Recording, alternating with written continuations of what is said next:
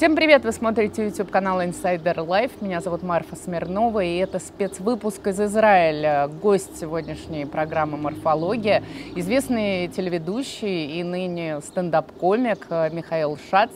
Собственно, он для начала вам расскажет, где мы и почему мы здесь. А, мы находимся в кибуце Эйнгеди.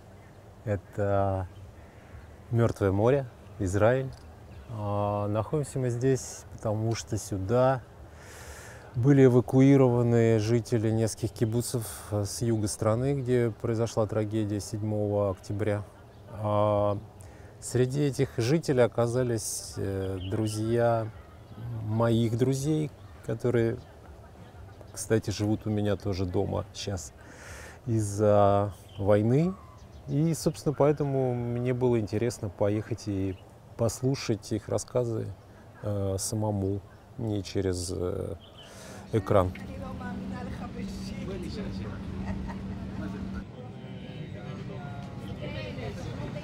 And how will I call you? Yeah, yeah, sure. No, like what do I call you? Like name? А, Микаэль. Uh, um, okay. Michael used to be very, very famous in Russia. Really? Yes. It was long ago, believe me. yeah, it's how it's important to us to send the message of our kibbutz. Yeah, the sure. people will know our story that uh, because we. now to, to tell the stories because Yes. uh, you know what is going on in, around the world about the Jews and It's crazy. It's crazy. Thank you. Thank you so much. Thank you. Thank you. А, Мы сегодня ходили с вами несколько часов, обсуждали, ну, как раз общались с людьми, вы слушали их рассказы, ради чего вы, собственно, сюда и приехали. А, Что вас в этих рассказах, наверное, тронуло, поразило? Я, как э, журналист, могу цинично сказать, что я, наверное, более да, привыкший человек к таким историям. И тем более, что я полтора года работаю уже на разных войнах. Да, да. Ну, кстати сказать, э, к сожалению, уже не только журналисты, привыкшие к этим рассказам, к сожалению, все эти полтора года мы с вами прожили примерно в одном и том же информационном поле. Просто ва- вам еще удалось ездить и поговорить с людьми в Украине. А, Я все это слушал и смотрел, и впитывал себя. Каждый день приносит убитых, а много убитых. Но просто вот э, с недавнего времени война подошла совсем близко к моему дому в том числе. А, а мой, мой дом все-таки, я могу прямо сейчас сказать, это, это здесь. Поэтому я, в общем, не то чтобы... Меня, наверное, скорее больше шокировало то, что мы стали привыкать к этому. Вот в чем, а, мне кажется, глобальная проблема последнего времени. Мы стали привыкать к этим смертям, к этим ужасам, к этой жестокости. А, И вот это меня волнует с точки зрения вообще того, что происходит с человечеством в последнее время.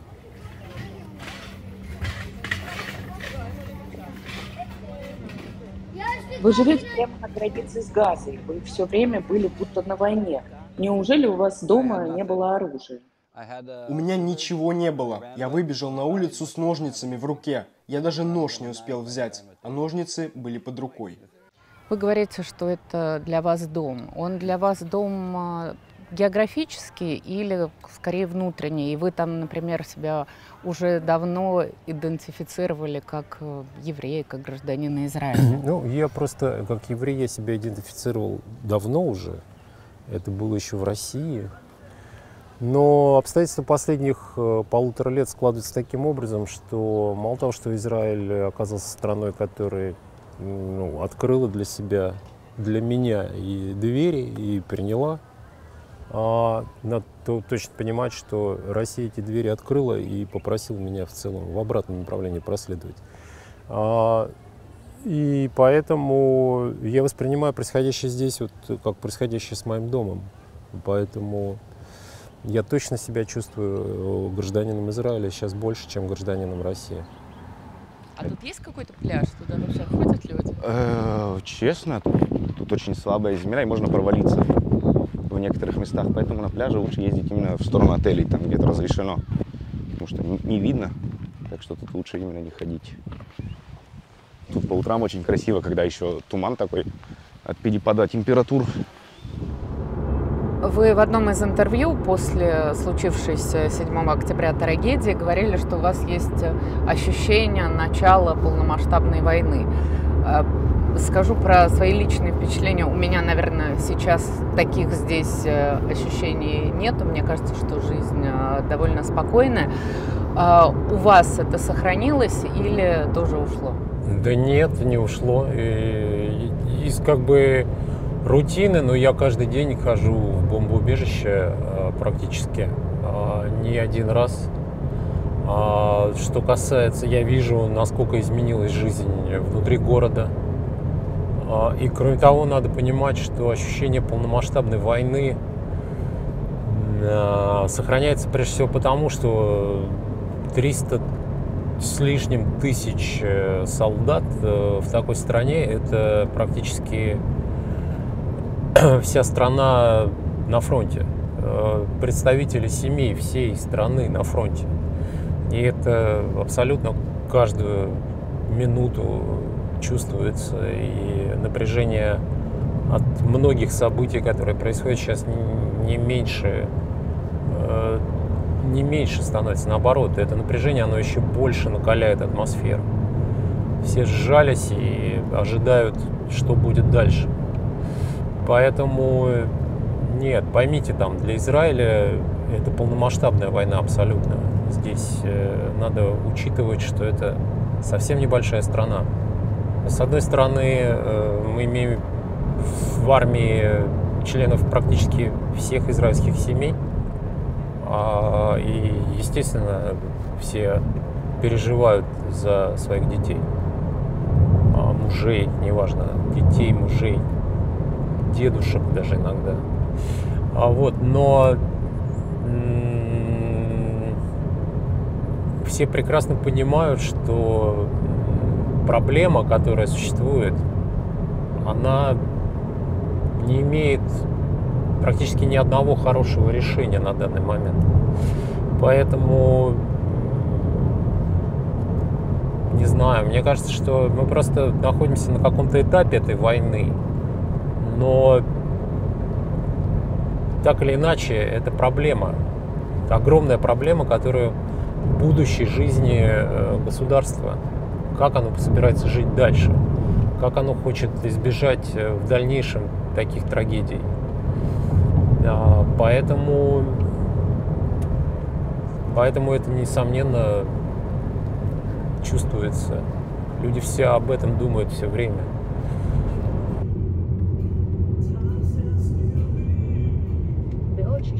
Вот мы говорили про, с вами про вашу самоидентификацию. А как о себе говорят ваши дети? И есть ли у ваших детей в планах э, вернуться в Россию? Ведь, ну, банально, но все равно все, что мы делаем, наверное, это для наших детей ради того, чтобы они жили лучше. И многие сейчас переехали, там, в том числе, чтобы там, дети не ходили на условно уроки о важном. А, не, мои дети точно не собираются э, вернуться. Хотя я в последнее время все время себе говорю, что надо избегать слова точно в разговорах. А, но мне кажется, что пока у них этого точно в планах э, нету. И я ни разу не слышал э, об этом. Ну, они для вас граждане Европы или русские, которые в отъезде? сложный вопрос, кто они для меня. Они для меня просто дети. Ну, это я... хорошо. Они себя как, э, как воспринимают? Ну, я для точно них знаю, что... Россия. Ну, Соня точно себя воспринимает иммигрантом. Даже песню написала про Да, я знаю, слышала. Вот. А Степа... Степа в большей степени... Ну, он чуть старше, и мне кажется, он... Ему нравится у него, он уехал еще до войны. И в этом смысле такое осознанное решение позволяет избегать таких психологических травм. А по поводу младшей, ну тут э, мне кажется, что еще осознание этого придет и рано говорить об этом. В любом случае никаких э, вслух высказанных мыслей по поводу его возвращения я не слышал ни от одного. Вообще не хочу туда. Ну мне и нельзя. Ну, Ну, сад- вообще сад- здесь хороший фон. Да, тебе Хороший, нравится? конечно, как посидят люди. Да, да, да, да, конечно. как парфюм. Можно еще оттуда вот и Ой, я? Да. деревья. לאימא שלה לא איתנו יותר. ее мама уже не с нами. Мама и Её мама папа. и папа. Это моя дочь. А ее подружка Ади, это ее родители убили. Это моя дочь. Они похожи. Это моя. Да, да, да. Это той самой, которой вы кроваткой прикрывались. Дверь, да? Да. Да. Да. А у нее подружки убили маму, Да. папу. Да. А они ее спрятали. Да. И остался кто-то. Эм, Э, брат. брат, э, который по папе. Да. Сводный брат по папе. Антисемитизм, а, о котором заговорили после 7 октября. А, Во-первых, хотела спросить, э, существует ли он для вас, видите ли вы его, и можете сравнить э, там, с советским антисемитизмом, например, э, с которым столкнулась ваша семья, потому что ваши родители евреи. А, да в целом а, самое страшное, что он э, одинаковый по своей природе, этот антисемитизм. Он ничем не отличается. Поразило просто то, как быстро открылась эта шкатулочка, которая, в общем, довольно долго была при, прикрыта более или менее. Может быть, она где-то и прорывалась что-то оттуда, вот этот вот антисемитизм. Но, э, надо честно признать, в последнее время ну, я мало, вообще практически не видел в России, э, ну, как бы случаев э, какого-то ущемления прав именно по принадлежности к семитам или нет. Я и сам достиг больших успехов там в какой-то своей карьере, несмотря на то, что я был еврей и есть еврей, и буду, скорее всего. Поэтому в этом смысле меня удивило, как это быстро пришло ровно к тому же, откуда это вообще вышло. Потому что я вспоминаю то, что было там с моей семьей, я, встр- ну, я, я, я знаю, о чем говорили мои родители, я знаю, О чем? ну, они говорили всегда там, вот это антисемит, а вот меня не взяли, потому что говорят, ну вот евреев много, а тебе, Миш, в медицинский довольно тяжело будет поступить, потому что там разнарядка есть на евреев и так далее. А, это все было. Бабушки там говорили, как это, уезжать в свой Израиль, это я был свидетелем тому. Но это был такой, такой отвратительный бытовой антисемитизм. То есть вот как будто бы, ну как будто бы люди уже отчаявшиеся понять причину своих проблем, они начинали э, привычно валить все на евреев. Ну, потому что так принято было давно, и вроде как доказано, что во всем они виноваты. Поэтому э, вообще антисемитизм, который сейчас э, с новой силой возродился, мне кажется, и, тот антисемитизм, он имеет одну природу на самом деле. Это необразованность людей, а, и готовность их э, ну, найти легкое объяснение своим проблемам. Другой вопрос, что просто меня удивляет, откуда, например, в Гарвардском университете антисемитизм. Вот кого вы называете сейчас антисемитами, я бы хотела спросить. То есть мы видим все эти митинги, да, в Европе, США, люди ходят с палестинскими Но флагами. в итоге это все равно антисемитизм. Почему? Потому что э, Израиль – это страна еврейская. Э, Евреи, известна их тысячелетняя история э, путешествий э, по миру с целью найти свою страну, найти свой кусок земли. И если люди сейчас говорят о том, что Израиль не имеет права на эту землю, они говорят, это э, в принципе, это в принципе есть антисемитизм. По большому счету. Ну, Потому что- прогрессивные западные, я не знаю, профессоры, политики говорят э, и называют Израиль э, оккупантом, империалистом, Это очень колон- странно, очень колониальной странно. Потому страной что и эти люди далее. должны быть образованы и должны хотя бы знать историю, в отличие от генерального секретаря Объединенных Наций, который тоже заявляет о некой 56-летней оккупации. Для того, чтобы понять вот историю этого вопроса, ну, надо просто немножко изучать книги, посмотреть э, и вообще историю просто изучить.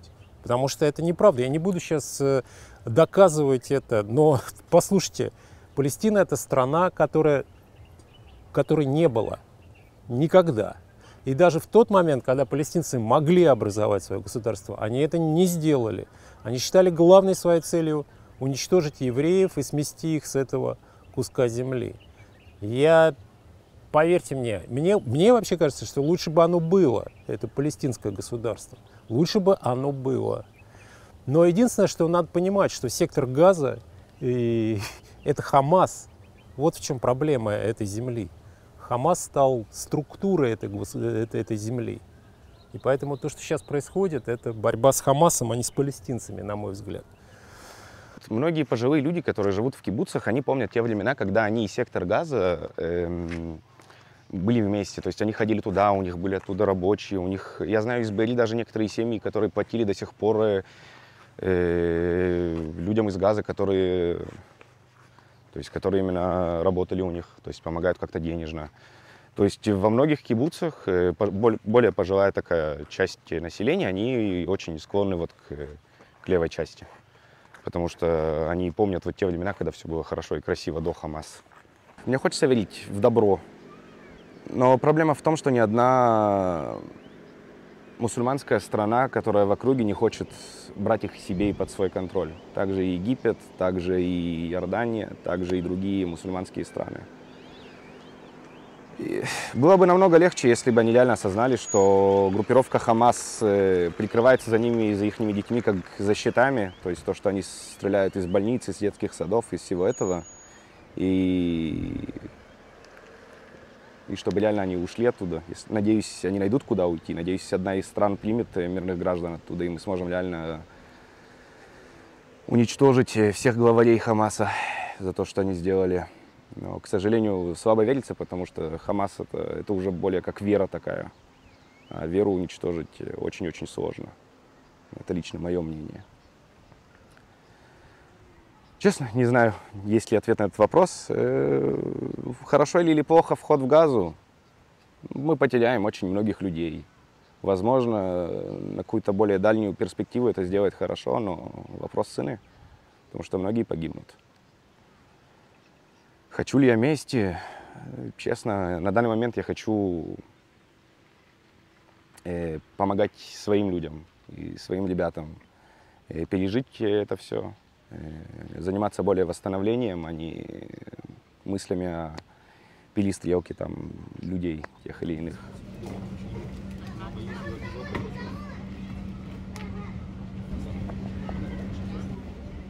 Наверное, сейчас будет такой э, сложный и неудобный вопрос, но если не хотите, не отвечайте.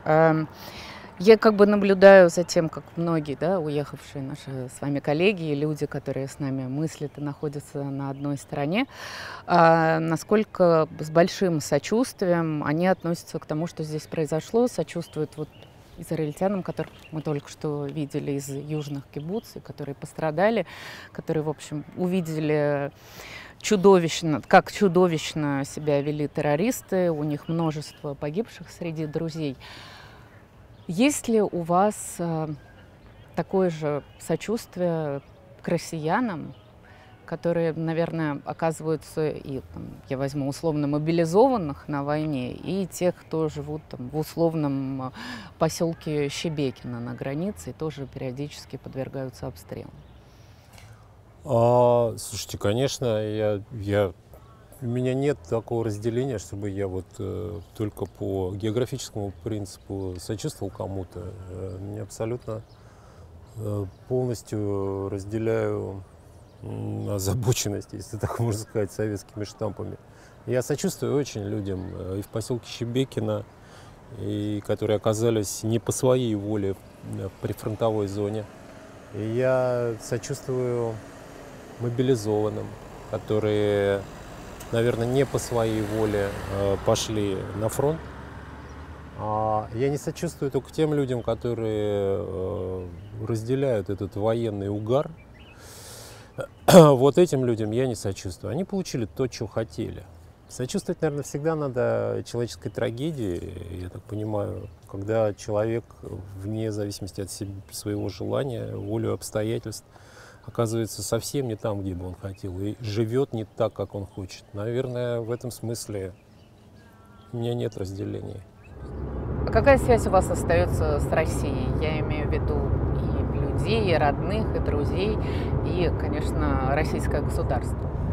С российским государством я пока связан э, отчетами о моем иноагентстве. А вы делаете, да? А, да, ну как я делаю? Я делаю, да, это делают адвокаты, помогают. Не, просто многие-то отказались, потому что Нет, сказали, я еще что- делаю. Почему?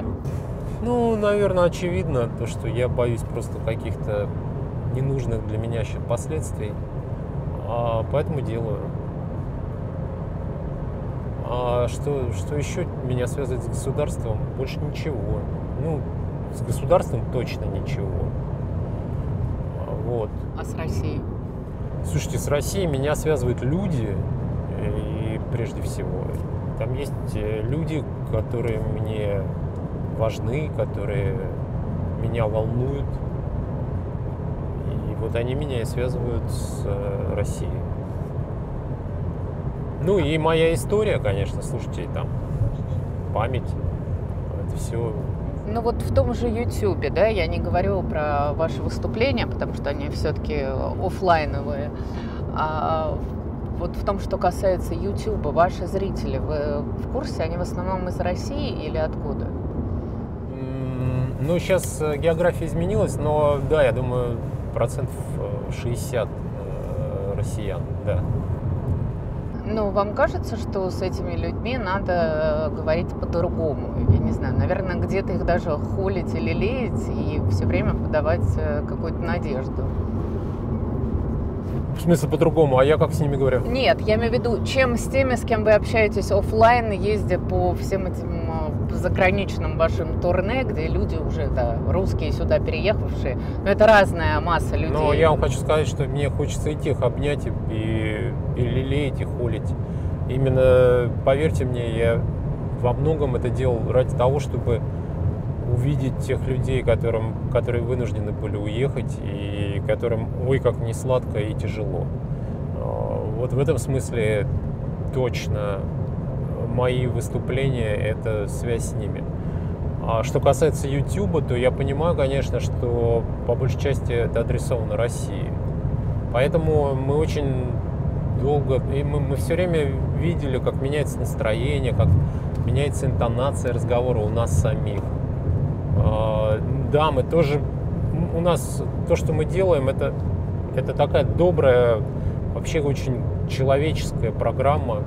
Я имею в виду подкаст э, «Папа, закрой дверь», который мы сейчас делаем. Она точно вот про, про любовь.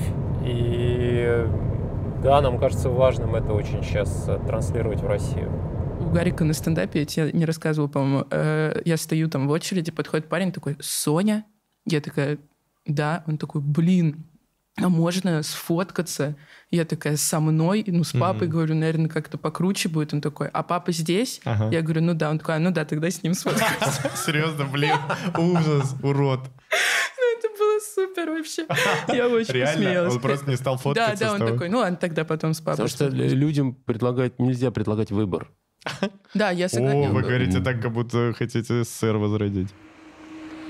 Надолго здесь? Пока непонятно. Без понятия. Возвращаться пока что некуда. То есть э, у нас еще разворовали все дома. То есть там бардак полнейший. Некоторые сожгли. Некоторые разворовали после того, как мы уехали уже. Все. Спасибо тебе большое. Да, и вам спасибо.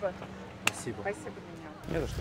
Ну, многие вот опять же мне здесь уже говорили, что они считают, мы даже там с высокопоставленным а, военным общались, что информационная война пока что проигрывается Израилем.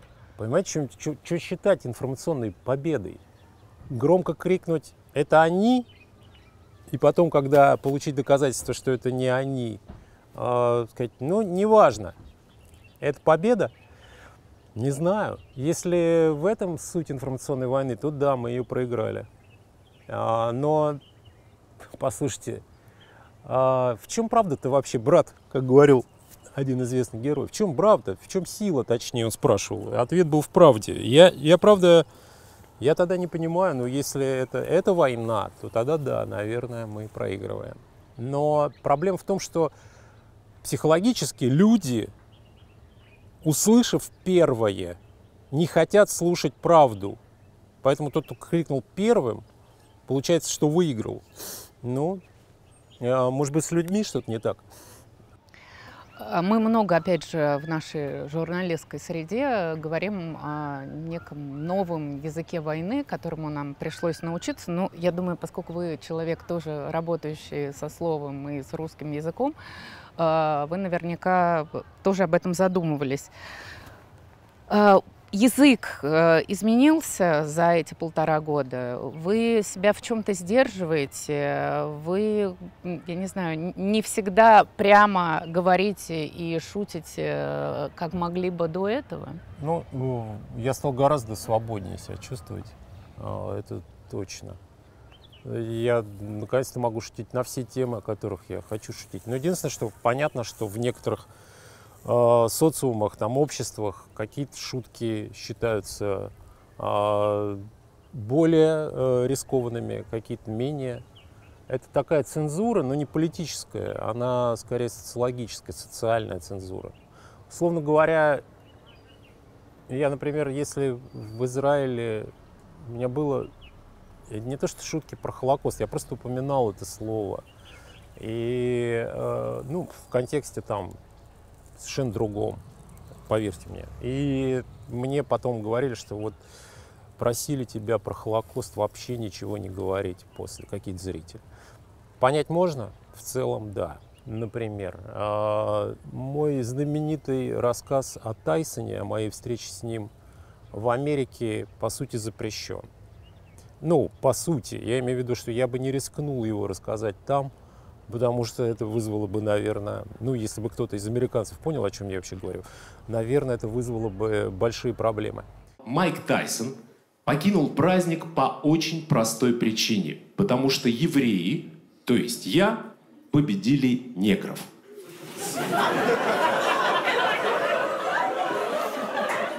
На следующий день мне говорили, что слово «негр» я использовал около 30 раз. Какие точно слова я мог вставлять между словом «негр» я сейчас не рискну э, вспомнить.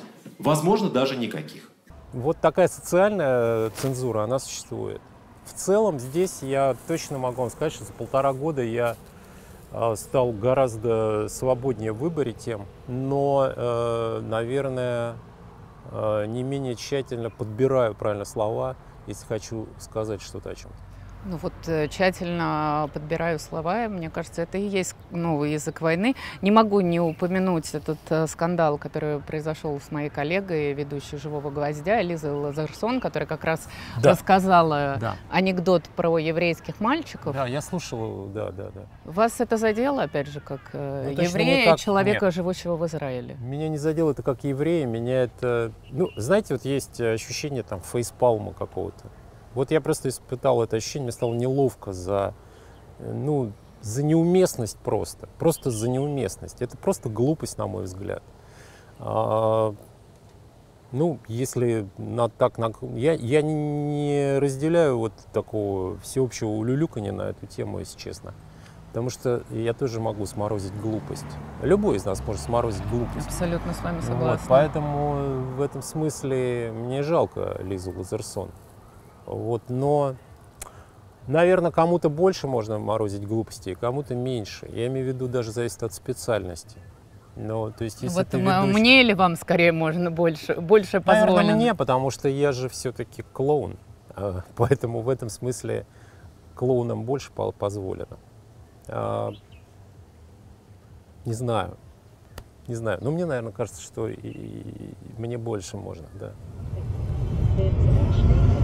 После начала войны полномасштабной, после отъезда, приобрели ли вы что-то в плане работы? Стала ли ваша работа интереснее? Например, моя стала, потому что, мне кажется, работая сейчас э, журналистом, тем более военным журналистом, э, она, конечно, дает многое. Что у вас? Новое сто процентов, да, конечно, потому что я оказался ну, в ситуации, когда как бы я сам э, обеспечиваю э, себя выступлениями, заработком. Ну, вот в каком-то смысле у меня нет никакого персонала, который бы там у меня, может быть, был в России, там, я не знаю, какие-то продакшены, какие-то директора, продюсеры. Вот это все ушло в, в прошлое, и просто я один. У вас вообще нет коллег, вы один договариваетесь о концертах, Ну, практически, практически да. Да, да. Ну, Это абсолютно новые связи. Понятно, что я не каждый клуб обзваниваю сам, но все эти связи с какими-то там прокатчиками, это все абсолютно новое, возникшее вот прям в конце прошлого года. Э, Я, я живу впервые какой-то такой гастрольной жизнью. Это тоже для меня, ну, действительно новое. Я могу уехать в тур там на месяц, и для меня это абсолютно новое ощущение. Там, я не знаю, YouTube-канал, который тоже там является небольшим, но очень важным, э, ну такой немного времени, ну он занимает меньше времени, чем стендап, но все равно там вот про производство там контента для YouTube это тоже абсолютно новая реальность, потому что это все мы сами ищем, сами находим, какие-то там деньги находим на это, что-то пытаемся заработать, э, хотя бы чтобы расходы покрыть. Ну, в общем, вот эти все вещи, это, это новое, этого не было. Все раньше было удобно, комфортно, сейчас это, ну, такая прям работа настоящая. А это обусловлено э, финансовой экономией? Ну, ты абсолютно не можешь... э, А как? Конечно. Ты, ты, ты вынужден это делать, потому что, ну, ну, такова реальность, да. Ну, я могу предположить, что, наверное, вы в Москве жили э, лучше и, скажем, наверное, более на широкую ногу. Как, ну только честно, потому что все говорят, что ой, да ничего страшного, такие события. Ну, тем не менее, вы, наверное, потеряли в комфорте много. Ну, конечно, но ведь комфорт это не только там мраморные полы, поверьте мне. Комфорт, он глубже гораздо закопан. Это, точнее, не закопан, он заложен в том, что ты привык ко всему, ты знаешь, как сделать это, кому обратиться туда, куда позвонить, чтобы решить эту проблему. У тебя нет языковой проблемы. Э, Ну, ты знаешь, что ты приблизительно всегда сможешь заработать что-то. Здесь этого уверенности вообще нет. Ты каждый месяц строишь какую-то бухгалтерию свою новую, рассчитываешь, как, что, сколько ты заработаешь, сколько ты потратишь. Во- Вот в этом смысле это и есть отсутствие комфорта, который, ну, то- того комфорта, который был. Это жизнь некомфортна по определению, потому что ты начинаешь, она новая. Она новая, и ее надо еще выстроить и построить с нуля практически. Поэтому, да, я много потерял, это точно. С вами, мне кажется, можно поговорить о спорте, э, поскольку вы были и ведущим спортивных программ, и вели программу с э, Олимпиады в Сочи.